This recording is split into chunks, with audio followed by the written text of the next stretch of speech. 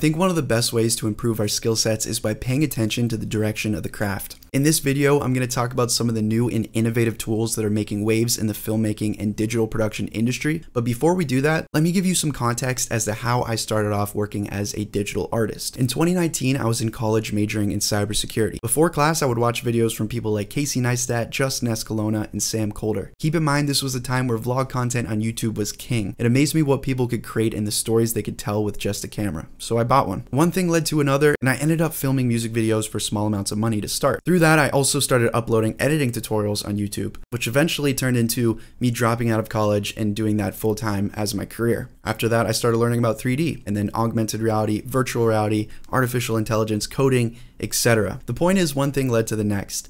The unique thing about the visual art space is the ability to branch off into so many different mediums while at the same time being able to apply core values from one skill set to the next. For example, the way I learned to make a shot look cinematic with a camera, things like lighting, focal distance, framing, are the exact same processes when it comes to making a shot look cinematic in a 3D software. And speaking of 3D softwares, here's a quick word from the sponsor of today's video. Today's video is sponsored by Autodesk Maya. Maya is the industry standard 3D software in Hollywood. It's been used on films like Into the Spider-Verse, Avengers Infinity War, and much, much more. If you're looking to bring believable characters to life, model 3D objects and scenes, or create realistic effects simulations, I highly recommend you check out Maya. It is a paid software, but financing is available, plus there's no charge for college students when using a .edu email. I enjoyed testing out Maya by adding in some materials to this mecha model here and playing around with the lighting. It's pretty awesome as a hobbyist to be able to mess around with the tool set that was used to create some of my favorite movies or animations of all time. I even was checking out some Maya VR videos.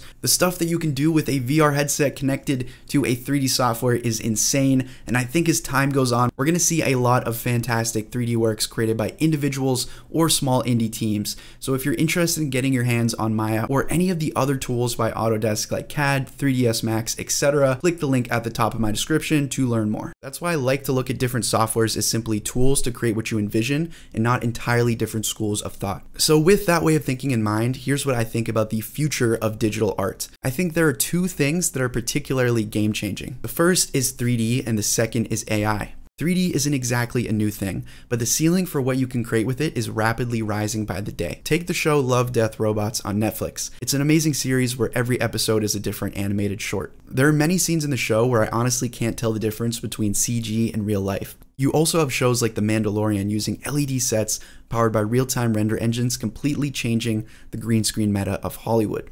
In the new Spider Man film, there's entire CG environments because, frankly, it's easier to do it that way now than it is to film and composite it. 3D is the future, and the technology and possibilities that stem from it are impacting all of the industries I talked about before. Before, the tech and the know how wasn't in the hands of the everyday person on their home computer, but now it is.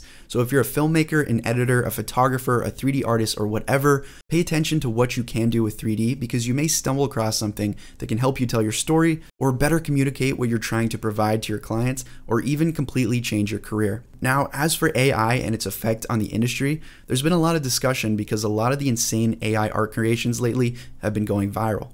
In my opinion, AI is a tool like everything else. It helps us accomplish things faster.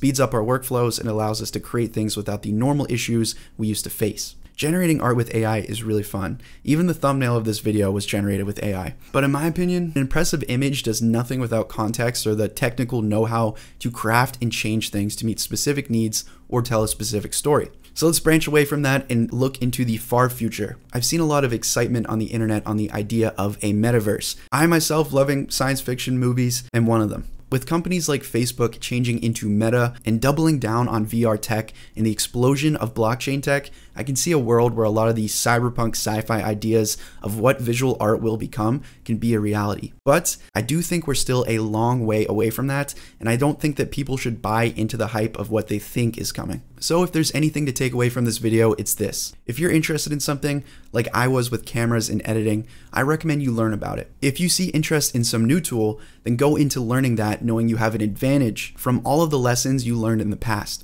And if you ever feel bored or uninspired, pay attention to the new ways people are using these tools and educate yourself on them because, like I said, getting in early is always better than getting in late, and it could lead you to life changing opportunities. Thank you guys for watching. If you enjoyed, consider leaving a like for the YouTube algorithm. Comment down below anything you'd like to see next. This was a bit different from my usual tutorial videos because sometimes things that are thought-provoking can teach you more than, than just a step-by-step -step guide. As always guys, thank you so much for watching and I'll see you in the next one.